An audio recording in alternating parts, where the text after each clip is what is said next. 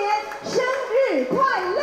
台中市长卢秀燕和台中捷运公司董事长等人一起将启动手板放在入口闸门上，为终结两岁庆生。因为庆祝两周年，再加上哈耶，大家很开心。在四月二十五号那天，市民朋友哈，只要比耶，只要比耶哈，再加上持电子票证哈，就可以免费搭乘捷运。杜秋燕说：“过去两年虽然历经严重疫情，但台中捷运仍然创造佳绩。这两年下来，有一千七百万人次哈搭乘。上个月三月份呢，更突破单月份哈啊一个月有一百零六万人次搭乘哈。